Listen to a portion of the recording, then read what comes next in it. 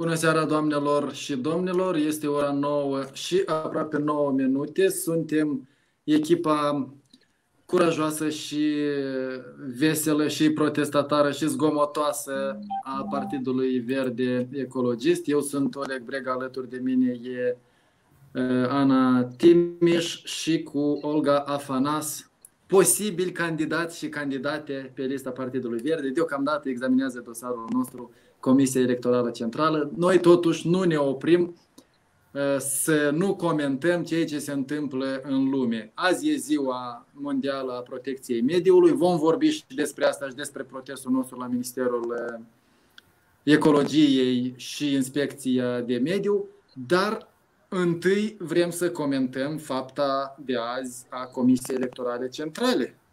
Pentru că se pare au decis să mărească numărul de secții de votare pentru Transnistria, unde astă toamnă eram observator și am văzut că nu veneau oamenii să voteze și stăteam noi o secție întreagă pentru 100 de oameni în bătaie de joc și CEC a considerat că sunt necesare mai multe secții de votare. Dar în diaspora, unde s-a înregistrat cu câteva zeci de mii mai mulți potențiali alegători și unde se terminau buletinele de vot la jumătate de zi, a zis că lăsăm așa numărul de secții de votare.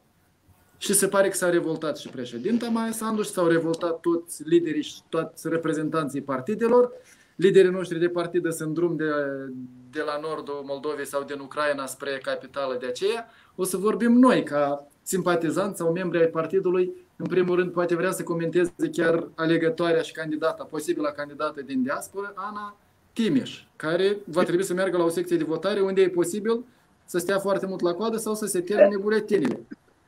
Corect. Am rămas foarte indispusă de noutate de asta, o noutate, zic așa, nu plăcută, de motiv, în primul rând, ni s-a redus dreptul nostru de a vota, că la sigur că vor rămâne foarte mulți din diaspora, alegători din diaspora, fără ca să voteze uh, pe data de 11 iulie uh, anul acesta. Și plus, chiar dacă așa să fie, o să stăm și eu, dacă până acum cu numărul de secții de votare care erau, stăteam câte o, aproape o zi întreagă, ori în șir, Cred că acum va trebui să stăm și câte două zile. Din păcate nu e posibil să stai două zile. E un lucru foarte, foarte regretabil. Cred că trebuie să ne să facem proteste, să ne impunem, să ne spunem, să ne cerem dreptul nostru de a vota. E un lucru foarte regretabil. Nu știu cât de mult și cât de compact locuiți acolo în localitatea sau în regiunea unde locuiești neta în Italia, dar e posibil să organizeze proteste acolo, în diaspora chiar? Nu știu, chiar am, m-am gândit ca să mă contactez pe grupurile din diaspora ca să ne punem la cred, indiferent de ce poziție avem, cu ce partid, care și ce poziție are, legător are, dar trebuie, cred că o să mergem, facem proteste, vom ce mai apropiat consula, consulatul din Moldova este la Padova, eu cred că o să mergem. Dacă e posibil, chiar și mâine o să ne organizăm să mergem să facem un protest.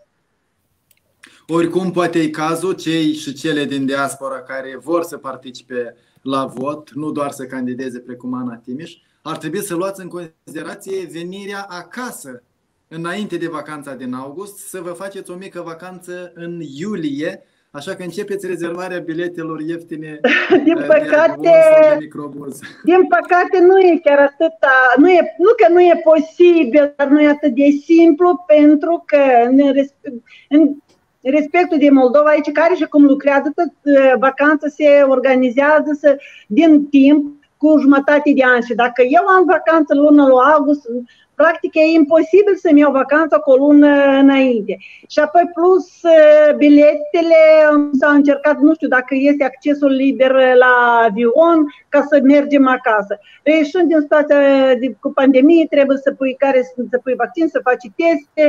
Uh, nu cred că e soluție cea mai potrivită. Se poate fi dar nu soluția cea mai potrivită. Soluția cea mai potrivită ar fi ca să ne mărească sectele de votare. Puțin, măcar, dacă nu mai mult față de alte alegeri, măcar cum au fost. Păi cred că asta a rămas soluția. A propus, se pare că a uitat cum îl cheamă membru, secretarul CEC, a propus hai să lăsăm cum a fost. Și au lăsat cum a fost. Chiar dacă pentru Transnistria am zis nu s-au jenat să mărească numărul de secții, chiar dacă n-a fost nevoie. Dar se pare că au ei vreun plan și asta e revoltător. Olga, cum comentezi? Ești șefa noastră, ești cap Bună seara. ce părere ai? Da, eu nu am rămas frapată de această veste de astăzi pentru că am văzut cu toții ce a fost anul trecut. Eu sunt acasă, deci nu e necesar să plec să votez undeva, dar uh, am văzut și am simțit cu toții și cu toatele ce a fost anul trecut la, la alegerile precedente. Și credeam eu că toată lumea a înțeles că nu se poate așa ceva să se repete că nu este admisibil și că este evident că vor fi foarte mulți oameni care cu toții sunt cetățeni și cetățenii și toată lumea are dreptul la vot. Eu nu pot explica de unde această decizie să lăsăm cât este. Cum v-ați exprimat voi, da? Adică lăsăm numărul care a fost și anul trecut. Și totodată, paralel, să deschidem să uh, inaugurăm mai multe secții de votare în Transnistria, care, mă rog, nu este atât de mare. Da? Asta nu înseamnă că nu este nevoie de secții de votare corespunzătoare în Transnistria. Evident, este nevoie. Dar uh, haideți să fim consecvenți și să fim eficienți ca țară. Când o să învățăm noi să fim eficienți ca țară și să fim logici? Nu știu, mi se pare absolut ilogic și cumva ciudat și evident că trebuie să protestăm. Trebuie să protesteze și cei din diaspora, care sunt și așa destul de activi și eu vreau să-mi exprim admirația pentru ei, pentru participarea lor, pentru implicarea lor, pentru faptul că nu sunt indiferenți față de ce ni se întâmplă nou aici în țară. Dar totodată trebuie să îi susținem și noi adică cei care suntem aici la centru și să, să-i susținem așa cum, cum vom putea și fiecare cum va găsi de cuviință, dar să, să susținem. Nu se poate ca uh, o persoană să-și lasă copii și serviciu și să vină pentru 24 de ore să lipsească uh, pe ploaie sau pe uh, arșiță sau pe orice vreme ca să parcurgă mii de kilometri și să nu aibă uh, să, să nu ajungă să voteze sau să nu aibă buletin sau să nu aibă o, o secție de votare la care să reușească să ajungă. Deci asta este absolut inadmisibil. Care a mai fost rostul să rogi oamenii să se înregistreze din da, timp. să vină. Dacă, da, dacă nu le deschizi secții suplimentare, dacă nu mărești numărul de buletine și tot așa. Și vreau deci doar să mai și-a dat cu firma în cap. E clară rea Vreau să mai punctez o dată. acuză uh-huh. intenție de defraudare a alegerilor. Suspectează că alegerile vor fi furate cu așa atitudine și cu așa majoritate în Comisia Electorală Centrală. Să se aștepte la uh, furia populară și la critici de peste hotare. Da, categoric, pentru că atunci logica cam, cam mult pentru președinte de stat, dar a somat Comisia Electorală Centrală să-și revizuiască decizia. Să vedem ce va fi. Să vorbim uh, acum despre păsărele și da, vrădiuții. Vreau să spun, mai vreau să spun doar o idee la. Vreau să spun Dacă... doar o idee aici. Autoritățile noastre, pe de o parte, iau deciziile pe care au, de, de genul celor pe care le-au luat astăzi, dar pe de altă parte Uh, se arată destul de reticenți față de adoptarea altor modalități alternative de vot, cum ar fi votul electronic. Ori asta este, va fi încă o mărturie a faptului cât de imperativ și cât de necesar este pentru Republica Moldova și cât de simplu ar fi și câte probleme ar rezolva uh, implementarea acestui sistem de vot electronic care este total sigur și confidențial și foarte simplu și funcționează deja în zeci și zeci de țări și noi transmitem bani uh, la distanță, bani mulți, cumpărăm avioane sau, uh, nu știu, mobilă peste hotare și transmitem datele bancare și nu știu ce mai facem, dar să votăm, noi avem rezerve. Mă rog, asta e la capitolul votare și, și exprimarea dreptului la vot și așa mai departe. Da. Și acum să revenim la preocupările noastre de bază, grija pentru mediu. Azi e chiar ziua mondială a mediului, dar n-am serbat pentru că nu e o sărbătoare, ci e o zi de revoltă și de îngrijorare pentru că starea mediului e revoltătoare. și e vorba nu doar de păsărele, viermișori și broscuțe, ci chiar de apa din care ne adăpăm, de solul din care mâncăm, de aerul pe care îl respiră toți, inclusiv cei din Inspecția Ecologică și din Ministerul Mediului, unde am fost azi un grup de membri și simpatizanți ai partidului la protest. Eram și eu și Olga acolo. Dacă ai văzut reportajul, Ana, pot să comentezi. Dacă nu, povestește cum se marchează ziua mediului în Italia. Da, da, astăzi de ziua mediului putem vorbi necondiționat, însă cu părere de rău starea mediului în Republica Moldova lasă de dorit și de aceea noi, Partidul Verde Ecologist, suntem partidul cel mai potrivit cu echipa noastră bine moderată ca să punem pe roate un sistem de management a deșeurilor care joacă un rol foarte important uh, în mediul nostru. Uh, de aici vreau ca să noi să facem o comparație sau și să culegem lucruri ceva bun de la politicienii sau autoritățile din țările europene ca să tragem atenție la comportamentul lor sau atenția lor care au asupra mediului și implicarea lor în formarea acestui sistem, uh, sistemul de management a deșeurilor uh, și întreținerea și cum îl țin mereu sub control, adică coordonarea.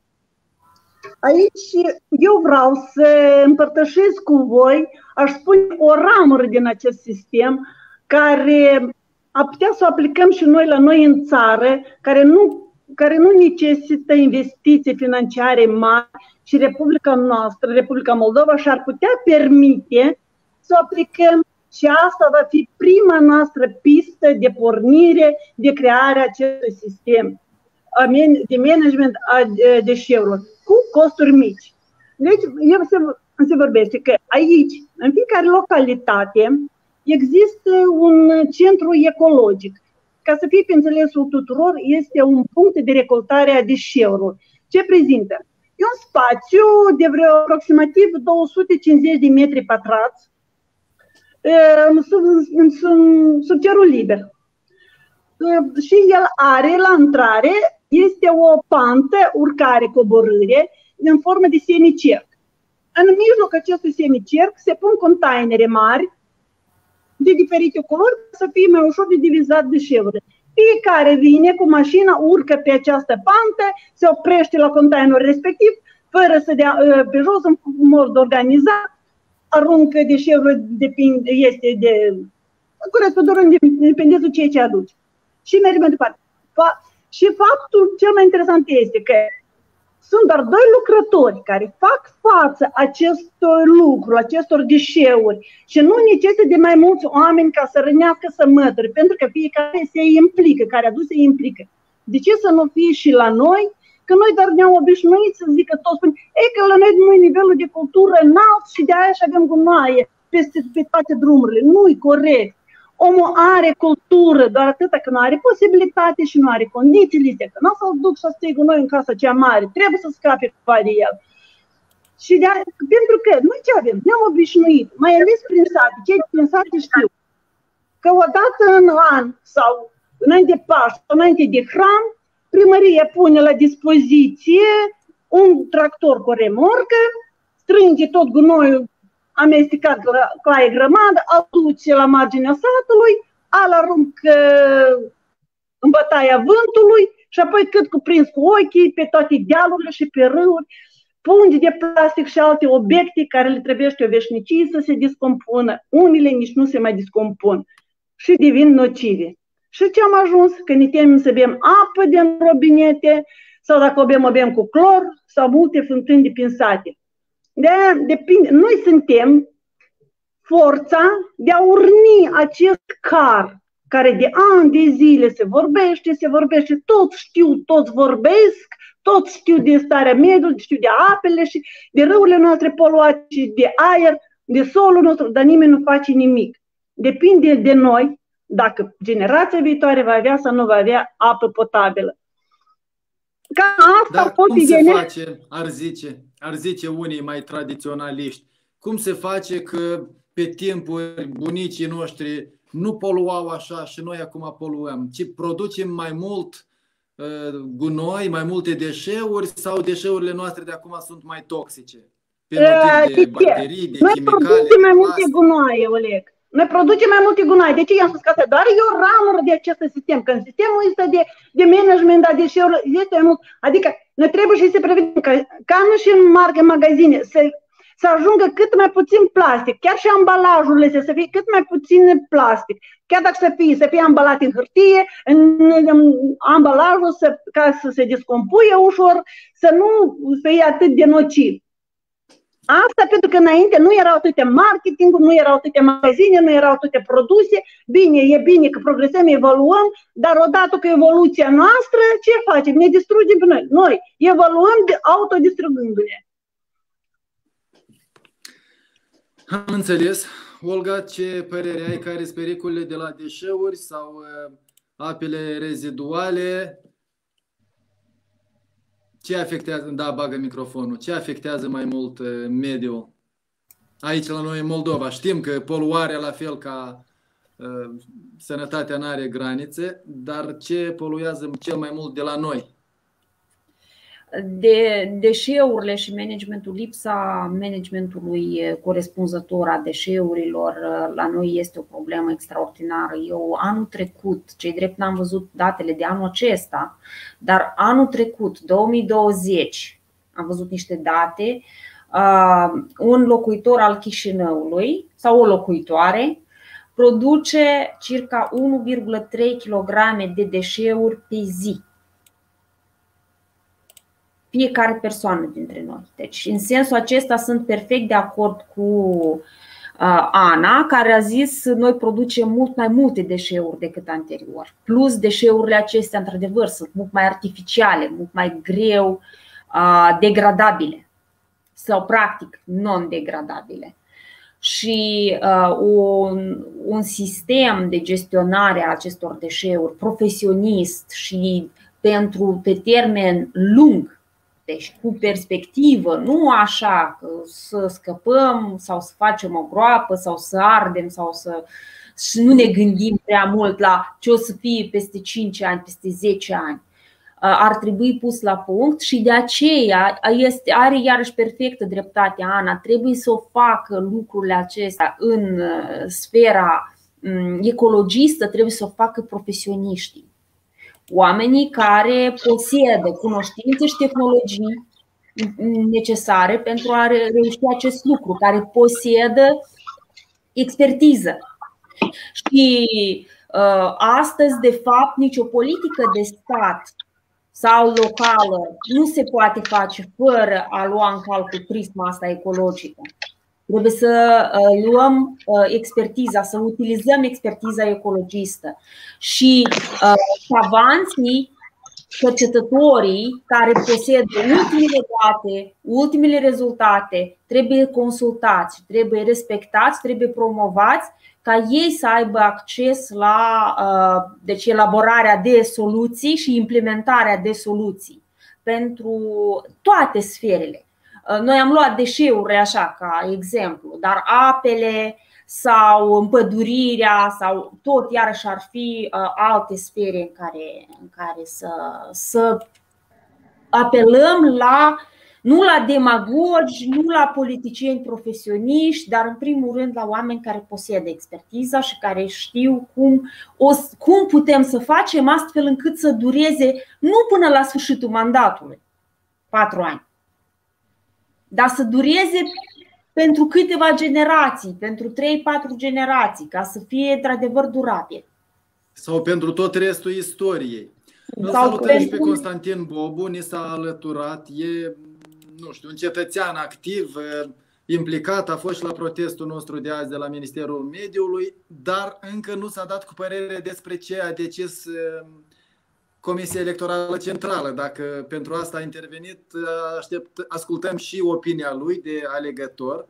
El nu candidează cu noi, nu neapărat e simpatizant al Partidului Verde, dar e un cetățean care contribuie la bugetul cecului, cetățean care, în mod sigur, are o părere despre asta. Da, scuze, trebuie să pornești microfonul, stai că îl pornesc eu pot de aici. L-am pornit, acum cuvântează, da.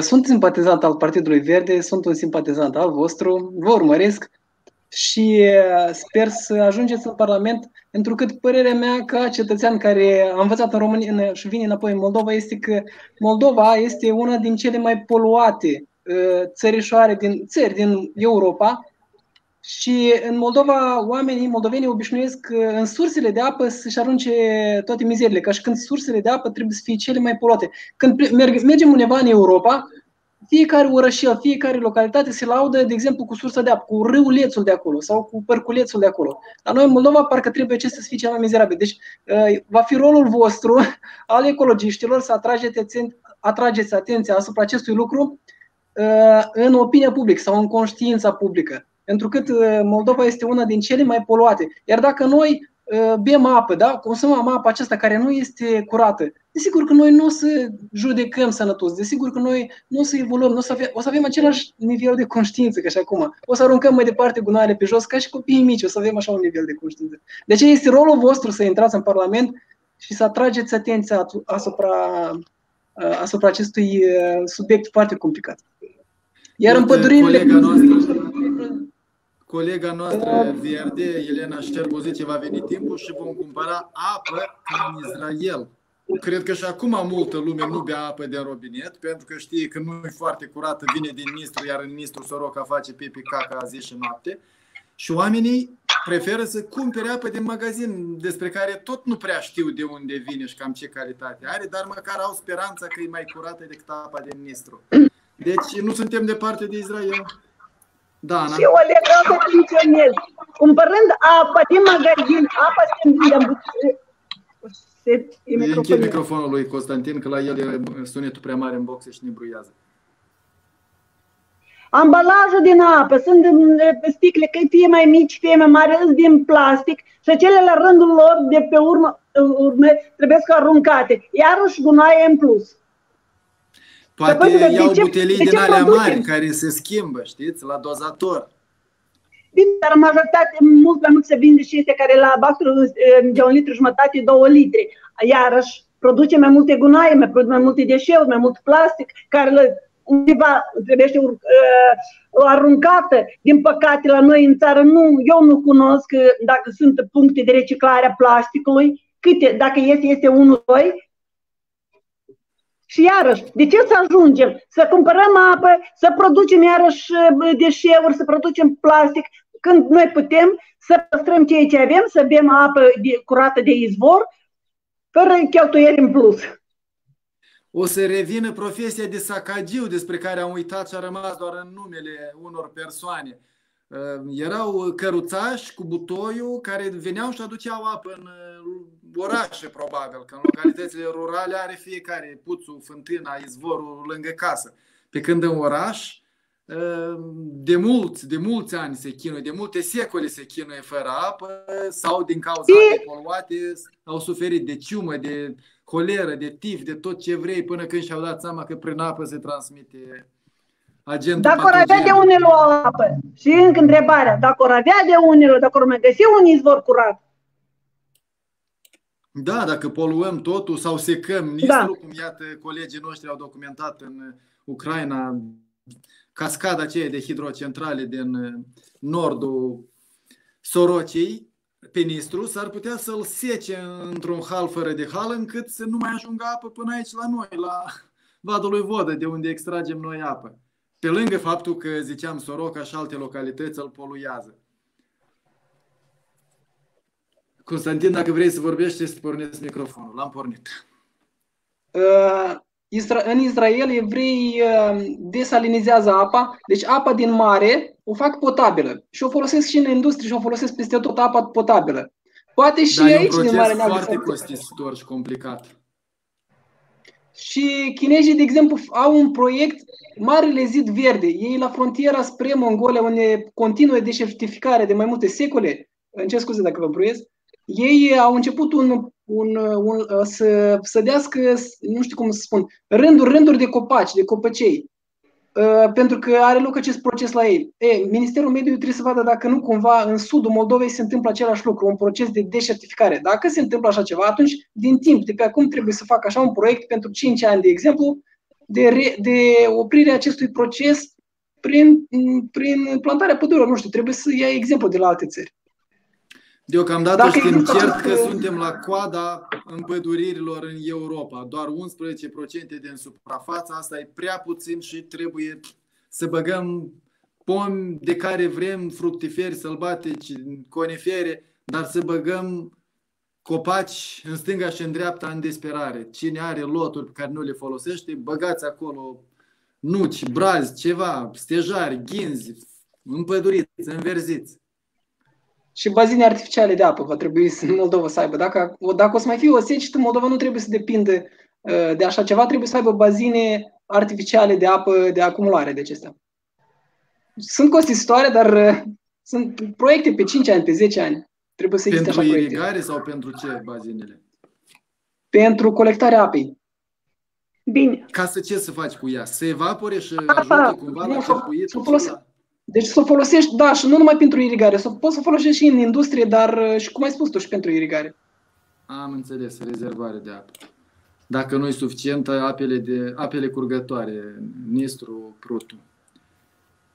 Da, Olga, ți-ai aranjat cu afura, înseamnă că vrei să... Eu, eu vă ascult atent și mă gândeam astăzi la prote- mă gândeam la ce a fost astăzi la protest, cum am fost noi un grup de persoane cu diferit background, dar neindiferenți față de mediu și am abordat trei probleme de bază. Bine, că ne-am mai adus aminte și de altele, dar am vorbit despre trei probleme de bază.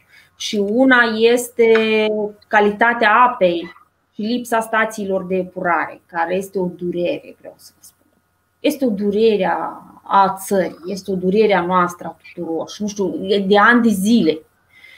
Și uh, mă gândesc că dacă într-adevăr punem prioritate pe uh, aspectele astea ecologice, în Moldova putem rezolva lucrurile acestea destul de repede. Deci Moldova nu are relief divers, muntos uh, sau localități foarte îndepărtate, dificil de uh, ajuns și așa mai departe, sau distanțe enorme care uh, în Moldova se poate rezolva rapid, doar să fie prioritizat. Și apa, punctul 2 la care am atras noi atenția astăzi și am protestat împotriva Uh, lipsei de prioritizare a acestor lucruri, împăduririle, pentru că sunt, este, dat, este făcută strategia până în 2027 și nu observăm, noi nu simțim noi. Ba din câte procente?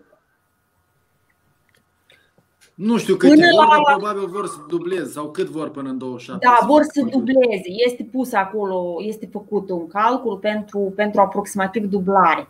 Dar iarăși nu se implementează. Deci noi, Moldova are una din cele mai bune legislații din întreaga regiune. Lumea și chiar și dublarea asta cât o să fie? Chiar să dubleze, cât o să păi dacă acum ai 11 dublare, 11, vreo 20 să fie. Da. Nu-i tot puțin. E foarte puțin. Noi trebuie să ajungem puțin la media. La, mai la... Bine, tot e mai bine decât, media, decât avem. Dar e mai bine decât 11, dar e mai rău decât 30. Da, da, da. Păi, voi trebuie să țintiți 30.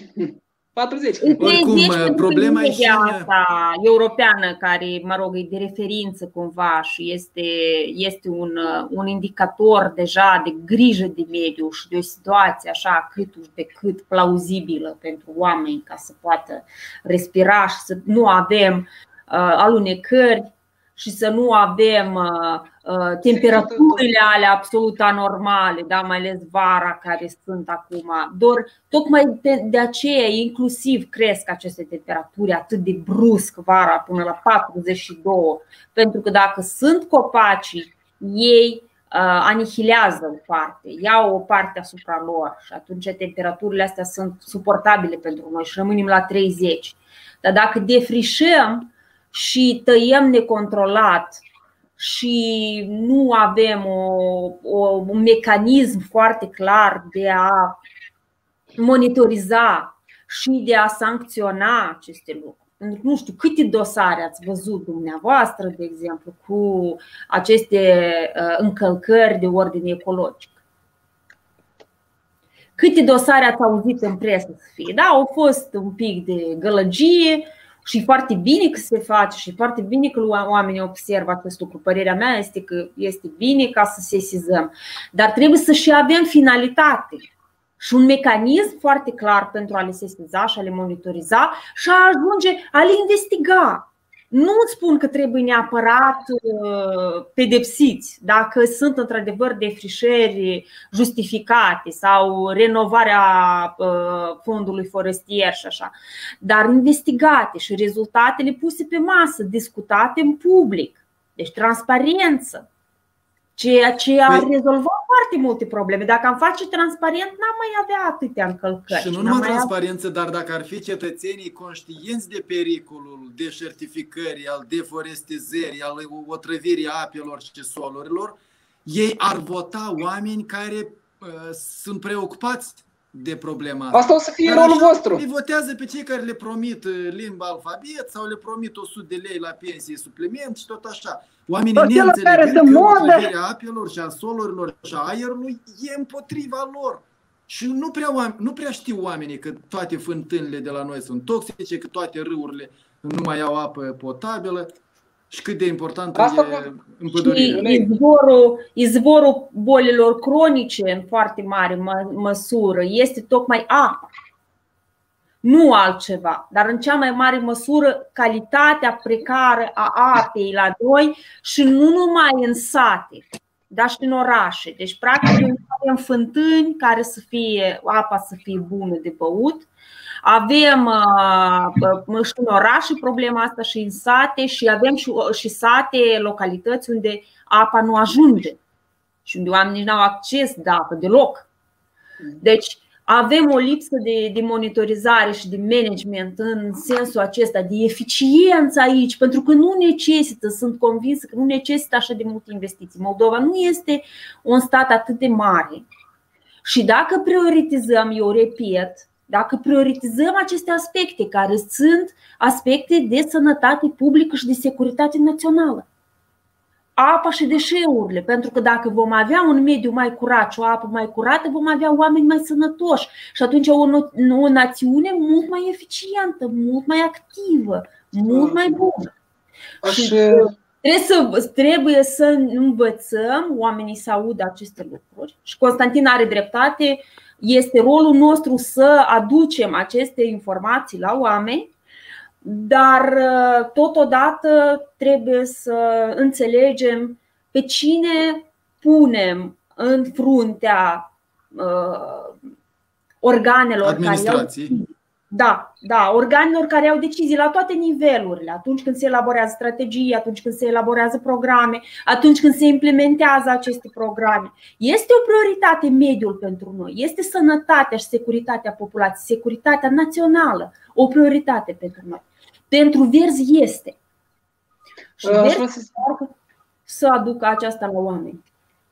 Uh, vreau să spun ceva. Uh, eu mă mă încă de ceva. În Moldova Uh, s-ar putea ca produsele, uh, fructele, legumele, cerealele să aibă o cantități foarte mari de nitrați, de nitriți, iar uh, agențiile, nu știu cine, protecția consumatorului, cred că există cineva care ar trebui să controleze, să facă verificări și mi se pare că nu prea se ocupă de asta și noi cumpărăm aceste legume sau fructe cu cantități ridicate de nitriți, de alte deșeuri care oamenii le aruncă în sursele de apă și după asta, cu această apă sunt uh, udate aceste legume, aceste produse. Și uh, dacă le comparăm și le ducem la analiză, dar nu știu dacă se ocupe cineva sau dacă avem un laborator care face lucrurile acestea. Eu mă tem că moldovenii sunt laboratoare, dar sunt, mai des dar nu, nu se practică. sunt ocolite sau ignorate și oamenii preferă să ducă să cumpere de la piață unde nu trece niciun laborator Bun. sau cumpără Bun, și nu este cum, cum a spus cineva, nu este cineva responsabil sau pedepsit, deci oricine poate să-și permită să ia apă din Nistru, să-și ude varza și după asta să o vândă și varza ce are un procent ridicat de nitriți. Încă din Nistru, în cel mai bun caz, de rău, din bâc iau și astea sunt foarte poluate, ambele răulețe. Dar n-ai văzut că mai ieri de la Agenția asta pentru protecția alimentelor au arestat vreo câțiva pentru corupție. Pentru că dădeau certificate de valabilitate pentru niște carne uh, expirată, pentru o grămadă de produse Alterat. toxice. Cam așa e. Corupția poate să facă și, și victime și morți. Dar nu, nu neapărat morți uh, imediat, dar uh, eu cred că ne îmbătrânește pe toți dacă noi consumăm această, sau consumăm această apă sau consumăm aceste alimente uh, care sunt uh, cu metale și așa mai departe. Deci ne reduce uh, starea de sănătate, ne, ne scade, ne afectează. Asta e corect. Din da, păcate, asta e realitatea, asta avem nu, răs, nu răspunde cineva până Oleg, Oleg astăzi a vorbit în cadrul protestului despre de ce uh, am decis să venim și la inspectoratul ecologic.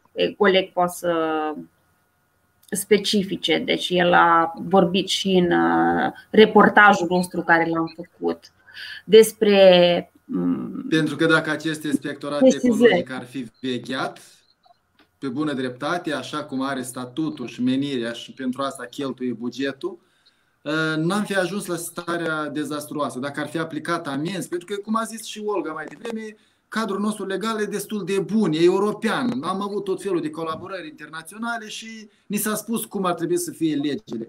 Dar legile astea sau nu le știe nimeni sau le ignoră toată lumea. Nu mai spun cum în fiecare primăvară stau vânzători pe marginea drumului cu ghiotiei, cu lăcrimioare, chiar dacă se știe că sunt plante rare protejate de stat. Nimănui nu-i pasă. Sau trece câte o razie poliția și îi sperie, sau ia mită și continuă să distrugă. Brândușii ce mai sunt prin pădure, totul se, se distruge. Sau nu vă, nu vă spun ce se întâmplă în area protejată de fileu Trinca. Ne spune un un ecoactivist, pensionar săracul, din pensia lui scrie plângeri, petiții, dă judecată că se fură piatră de calcar din defileu Trinca. E un peisaj extraordinar, minunat acolo. Inspecția ecologică, poliția, procuratura zice am fost, nu s-a confirmat. Eu de câte ori mă duc acolo cu bicicleta și am fost deja de vreo trei ori, de fiecare dată găsesc prind în flagrant braconieri scoțând piatră de acolo sau omul identifică pietre de var, de, gropi de var în sat, unde se ard pe lângă lemnele furate de prin pădurile alăturate și cauciucuri. Noaptea se pune cauciuc pe foc și vă dați seama câtă poluare de acolo poliția nu găsește. Sau dacă găsește, dispare. Sau dacă nu dispare, el se chestrează. Peste o lună se uită și dosarul se clasează. Ca să vedeți câtă incompetență sau cel mai degrabă corupție și complicitate cu braconierii și cu poluatorii. Cred că e indiferență mai mult. Deci și nu știu ce e de făcut. De reformat totul, de dizolvat totul, de anulat. Că dacă tot ne comportăm ca în junglă, ce rost are să mai cheltuim uh, milioane pe bugetul Inspecției Ecologiei, a Ministerului uh, Ecologiei. L-au comasat cu Ministerul Agriculturii. Poate nu e necesar nici unul, nici altul. Că fermierii tot se descurcă. Iată, stau la mila uh, ambasadelor vecine. Desfință și Ministerul Agriculturii și fermierii se descurce care și cum, cum poate. Dacă se poate să spun ceva, eu, eu am propus odată, adică nici nu există Ministerul Agriculturii, să fie un birou pentru agricultură în cadrul Ministerului Economiei. Dar Ministerul Mediului să fie unul aparte și Ministerul Mediului poate să fie unul din cele importante, pentru că privește, ca și Ministerul Învățământului, privește ceva de viitor. Și nu știu cum vedeți voi, poate ne spuneți voi cum ați vedea voi reorganizarea Ministerului Ecologiei sau agriculturii. Cum ați vedea voi asta? Deci, dacă îmi permiteți numai un gând, reorganizare și așa, eu vreau să zic primul lucru pe care trebuie să-l facem este să facem ministerul separat și să-i dăm uh, totalmente, uh, să zic, să-l facem plene potențial. Ministerul Mediului, în care să se afle oameni competenți, în primul rând ecologi, așa cum la învățământ trebuie să fie psihologi și pedagogi, oameni care sunt capabili să elaboreze și să implementeze programe și să, să și știu despre activitatea practică. Ei trebuie să elaboreze programe, așa la ecologie trebuie să fie oameni care știu soluțiile pentru uh, problemele de mediu sau știu să facă programe și să facă strategii pentru a asigura un mediu uh, curat pe termen lung și noi avem uh, savanți, avem expertiză în țară, avem uh, uh, oameni dedicați ecologiei, dedicați diferitor ramuri ale ecologiei și a apelor și pădurilor. Oamenii aceștia sunt uh, potențialul nostru de expertiză și ei trebuie aduși ca să consultați și uh, să, să elaboreze soluții. Uh, și să, uh, să cooperăm cu ei astfel încât să facem, cum zicea Oleg, niște mecanisme foarte clare de monitorizare și sancționare acolo unde aceste lucruri se încalcă, pentru că asta e chiar viața și sănătatea noastră.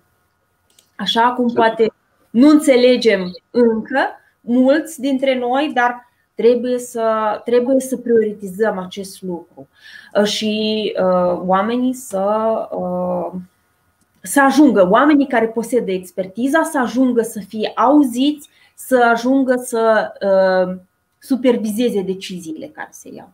Și atunci și să fie mediul una din prioritățile naționale. Și atunci, foarte repede, în Moldova, sănătatea publică va Uh, va spori. Nivelul de sănătate publică generală va spori. Asta sunt convinsă, pentru că dacă schimbăm apa uh, și uh, rezolvăm deșeurile și prioritizăm altfel transportul și facem ca transportul să fie unul măcar parțial treptat ecologic și industria să fie una să, să promovăm tehnologiile verzi în industrie și noi în Moldova nu avem așa de multă industrie încât să avem un proces foarte lung în acest sens. Aici se poate face. Păi da, ai văzut că Ministerul Mediului se laudă că în ultimii 30 de ani am redus cu aproape 70% emisiile de CO2. Păi dacă a dispărut industria... Dacă nu avem nimic, dacă nu avem nimic să redus. Sovietică nu da. Tocmai de aia și s-a micșorat s-au micșorat emisiile. Și cu atât mai mult că în acest sens noi, noi putem rezolva destul de repede în Moldova. Dacă rezolvăm apa și deșeurile, o să simțim fiecare dintre noi aceste efecte și sănătatea publică va crește și starea oamenilor, starea de sănătate și uh, randamentul lor de muncă va crește. Omul și sănătatea lui trebuie pusă în centru, trebuie prioritizat. Și sunt oameni care chiar își doresc acest lucru, își doresc să o facă. Dar apropo de CO2 și de uh, gaze, de noxe, nu e așa că e important și cât de multe mașini avem, folosim și cât de vechi sunt. Nu e așa că a venit timpul să vorbim și despre aer, despre poluarea aerului pe care îl respirăm cu toții și nu doar noi, dar aerul poluat se duce și la vecini și circulă din țară în țară fără granițe. Nu e așa că e timpul să trecem toți la bicicletă, să revenim la discuția din 3 iunie când a fost ziua internațională a bicicletei. Nu o să poată toți trece la bicicletă. și eu și Ana cu bicicleta și încă a mai vorbit cineva dintre bicicliștii noștri, se pare Vasile Fotescu. Nu e așa nu că trebuie să schimbăm uh, modul nostru de viață? Să mâncăm să mai reducem, sănătos, Oleg, să, să fim realiști. Puțin. Știți cât de mult poluează uh, agricultura uh, fermelor? Fermele de nu animale, se poate toți trece la bicicletă. de vite, poluează cel mai mult, s-a constatat mai mult chiar decât uh, mașinile. Bine, noi nu putem să trecem, dar să reducem se poate. Nu trecem măcar pe... să respectăm posturile, dacă sunt, ne declarăm religioși, să respectăm măcar posturile de peste an. Nu insist ca tot să vă faceți vegani ca mine, dar să reduceți consumul de carne, cred că e de mult recomandat. Chiar și medicii vă spun că e mai sănătos. Da, din punct de vedere sănătos.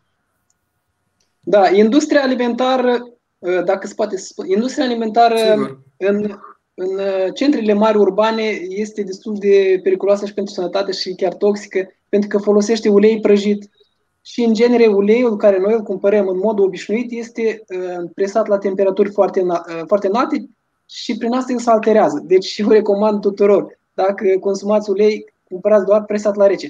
Deci noi în, în industria alimentară avem, avem produse care, sunt, care nu sunt sănătoase. După asta, industria alimentară operează cu niște procedee care transformă aceste produse în și mai toxice. Carnea o face și mai toxică. Și noi nu putem să, dumneavoastră nu o să puteți să faceți ceva în sensul ăsta, dar puteți să atrageți atenția la lume. Să le da, spunem, mâncarea semi-preparată e nesănătoasă. Cea mai bună mâncare e cea preparată imediat și mâncată proaspăt. Dacă iei conserve și mănânci jumătate de viață de conserve, nu te mira că faci tot felul de boli, mai ales pe sistemul gastric, digestiv. Ceea ce spuneți voi acum, eu traduc așa în sens de strategie națională și uh, spun că uh, trebuie controlată producerea și comercializarea produselor în magazine, trebuie eficientizat acest sistem, pentru că sunt angajați, este un aparat întreg care trebuie eficientizat. Eu sunt convinsă că nu va cere investiții enorme, mă rog, de zeci de ori sau așa, dar trebuie eficientizat și trebuie făcut într-adevăr calitativ această analiză și monitorizare a uh, produsului de la uh, materia primă până la raft Evident că nu, putem, nu le putem spune moldovenilor, oameni buni, renunțați toți la carne, faceți-vă toți vegetariani. Lucrul acesta nu se face nici într-o țară și nu este normal să-l facem. Fiecare trebuie să-l de, să decidă în, pentru, pentru sine și treptat, dar să controlăm, să responsabilizăm producătorii și comercianții ca ambalajul să corespundă conținutului și anumit conținut să nu aibă acces deloc în magazinele noastre, să avem niște norme foarte aspre și să le, să le respectăm cu toții, asta putem face. Asta ar trebui de urgență să facem și să învățăm și populația să citească acele ambalaje, să cunoască. Deci acest proces este foarte posibil și destul de repede realizabil și asta ne-ar face pe noi puternici. Informați înseamnă puternici, înseamnă capabil să luăm decizii informate.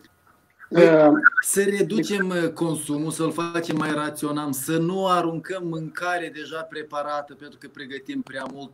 Tradiția asta noastră de a face bucate foarte multe, de hram, de paș, de Crăciun, și vin, nu vin oaspeți, rămâne o grămadă de mâncare, după care o dăm la câine, la porc sau o aruncăm pur și simplu. Trebuie să schimbăm uh, obiceiurile pentru că noi cu aruncatul mâncării preparate contribuim la poluare, pentru că pentru prepararea acelei mâncări, pentru carnea aceea, pentru legumele cele pe care tu le arunci, s-a cheltuit o grămadă de apă și de, a, de a oxigen. Deci trebuie să devenim raționali, să învățăm pe oameni să problematizeze poluarea, să înțeleagă că uh, consumul mărit, pungele pe care le punem, vedește inclusiv bananele care sunt învălite de la mama lor, natura sunt învălite în ambalaj. Pentru ce le mai pui bananele în pungă? Mai că ar învăli fiecare banană nuca de cocos, o bagă în, în ambalaj. Asta mi se pare aberant și, și greu de explicat. Dar oamenilor trebuie să le vorbim despre asta ca să înțeleagă că e o problemă modul lor de a se comporta. Și să înțeleagă că suntem șapte, aproape 8 miliarde acum pe planetă. Nu se compară cu ce era acum un secol când erau bunicii noștri și când erau doar 2 miliarde.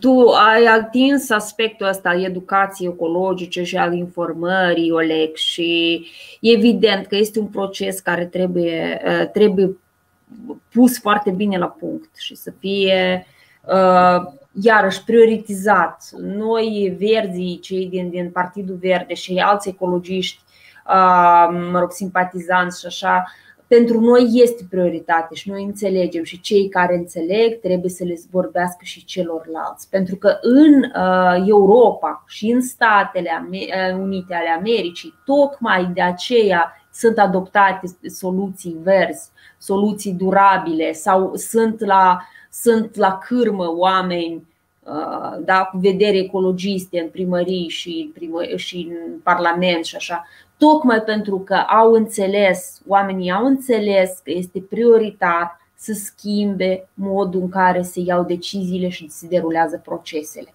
Și noi trebuie să mergem pe această cale și să o parcurgem și sper eu și cred că o vom parcurge mai repede decât alte state. Pentru că noi avem deja expertiza, avem exemplu, avem precedentul care ajută și avem și presiunea din, din alte state, care ne va face pe noi un pic învățăcei mai, mai buni, mai rapizi.